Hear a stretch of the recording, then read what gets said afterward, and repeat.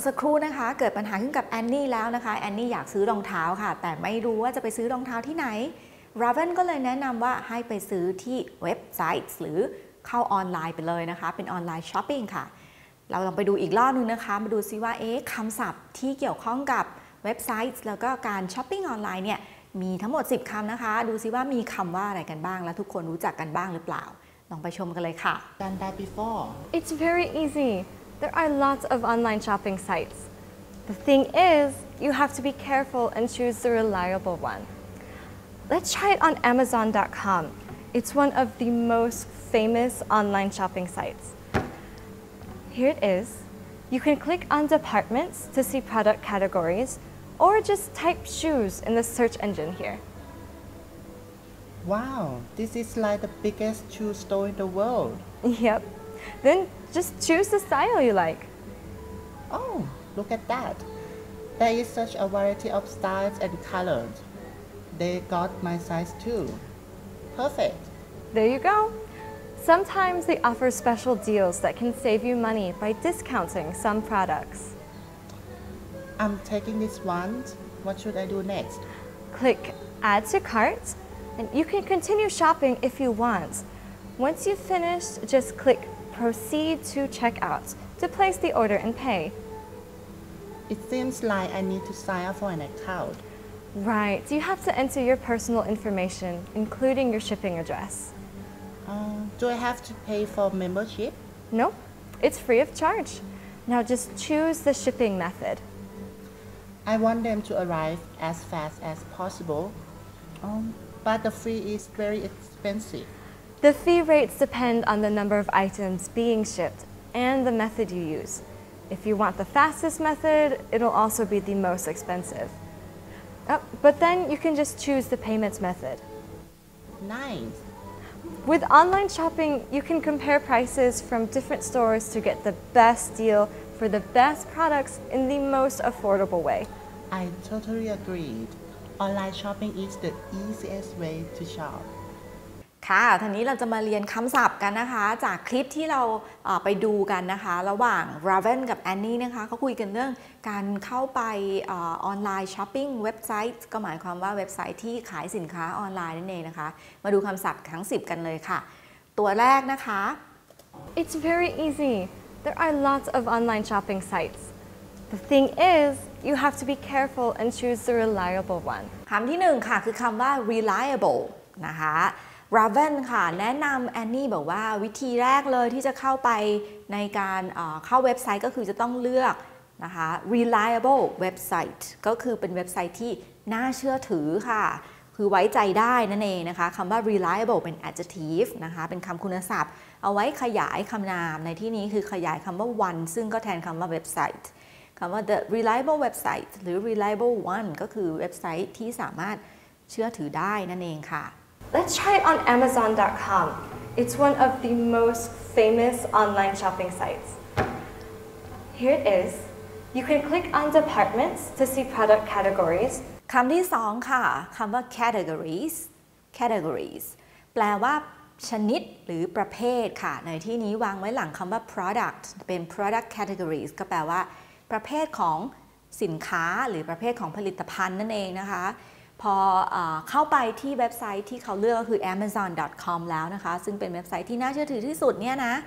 ก็ Raven ก็บอกว่าให้คลิกไปที่คำว่า departments นะคะ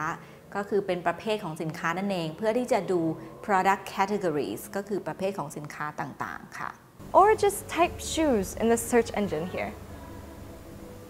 Wow, this is like the biggest shoe store in the world. Yep. Then just choose the style you like. Oh, look at that. There is such a variety of styles and colors. They got my size too.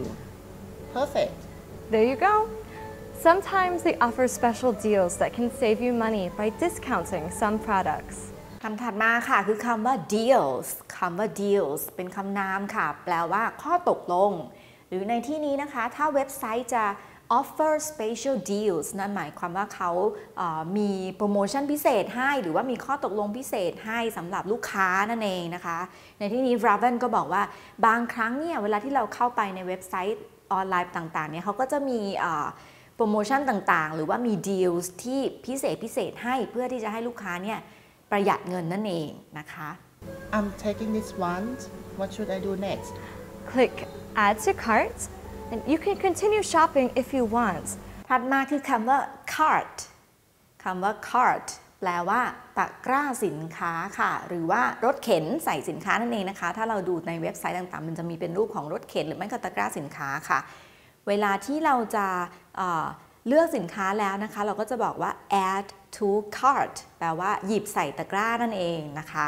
Once you've finished, just click Proceed to Checkout to place the order and pay. ตัวถัดมาค่ะคือคำว่า order order order แปลว่าคำสั่งสินค้านั่นเองนะคะคำสั่งซื้อสินค้านั่นเองค่ะ เวลาที่เราเลือกสินค้าใส่ตะกร้าแล้วนะคะ ถ้าเราอยากจะซื้อเลยเนี่ยเราก็คลิกไปที่ proceed to check out ก็คือให้ไปที่เราจะเตรียมตัวที่จะสั่งสินค้าและเราไม่เราไม่ต้องการซื้ออะไรเพิ่มแล้วนะคะ ให้คลิกไปที่นี่นะคะ Raven บอก เพื่อที่จะ place the order แปลว่าสั่งซื้อสินค้านั่นเองนะคะคำว่า order ก็แปลว่าคำสั่งซื้อสินค้าค่ะ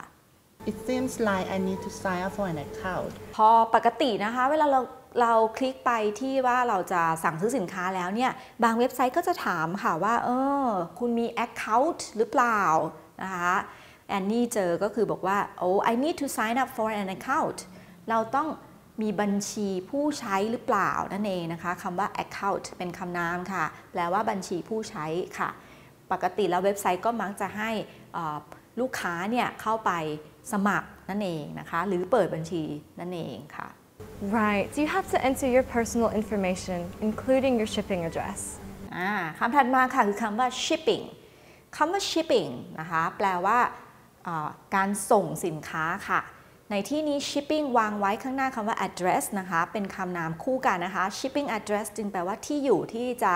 ให้จัดส่งสินค้าไปให้นั่นเองนะคะ เวลาที่เราจะเปิด Account หรือเปิดบัญชีผู้ใช้เนี่ยเขาก็มักจะขอให้เราใส่ข้อมูลส่วนตัวรวมทั้งที่อยู่ที่จะให้ส่งสินค้าไปด้วยค่ะ Uh, do I have to pay for membership? คำถัดมาคือคำว่า membership นะคะคำว่า membership หมายความว่าพอเราสมัครไปแล้ว เราก็จะถือว่าเราเป็นสมาชิกทันทีนะคะ การเป็น membership ก็คือการเป็นสมาชิกของเว็บไซต์หนึ่งๆนั่นเองค่ะ Nope, it's free of charge. Now just choose the shipping method. ถัดมา Raven บอกว่า no it's free of charge just choose the shipping method นะคะพอสมัครแล้วปกติเนี่ยอ่าเขาก็จะไม่ไม่เสียเงินนั่นเองนะคะคำว่า free of charge แปลว่าไม่มีค่าใช้จ่ายใด ๆ คำว่า charge เฉยๆ ตัวเดียวจึงแปลว่าค่าใช้จ่าย ถ้าบอกว่าไม่มีค่าใช้จ่ายก็จะใช้คำว่า it's free of charge นั่นเองนะคะ I want them to arrive as fast as possible. Um, but the fee is very expensive. ตัวถัดมาค่ะคือคำว่า fee นะคะคำว่า fee แปลว่าค่าธรรมเนียมค่ะ ถ้าเราต้องการจะ ส่งให้เขาจะส่งสินค้าเนี่ยเราต้องเสียค่าธรรมเนียมอยู่แล้วนะคะ ในที่นี้เขาบอกว่า the fee is very expensive แปลว่าค่าธรรมเนียมเนี่ยแพงมาก ๆ เลยนะคะ เนื่องจากว่าถ้าเราสังเกตดูนะคะ เวลาที่เราจะเลือกซื้อสินค้าเนี่ยเขาจะมีออปชันให้นะคะเขาจะมีออปชันให้ก็คือมีอ choosing delivery option นะคะ ถ้า free shipping ก็จะใช้เวลานานนิดนึง แต่ถ้า one day shipping ก็จะเป็น ค่าธรรมเนียมที่ค่อนข้างจะแพงมากนะคะดังนั้นก็คือ the fee ก็คือค่าธรรมเนียมต่างๆ เหล่านี้นี่แหละค่ะปกติแล้วค่าธรรมเนียมก็จะแพงใช่ไหมคะ ขึ้นอยู่กับวิธีการที่เราจะเลือกให้เขาชิปหรือส่งสินค้ามาให้เรานั่นเองนะคะ ยิ่งเร็วก็จะยิ่งแพงค่ะละค่ะ ทั้งหมด 10คำนะคะ มีคำว่าอะไรกันบ้างค่ะ มาทบทวนอีกทีค่ะ reliable category deal cart order account shipping membership charge และสุดท้ายคือคำว่า fee ทีนี้ลองไปทำแบบฝึกหัดกันดูนะคะว่าจะเป็นยังไงกันบ้างค่ะ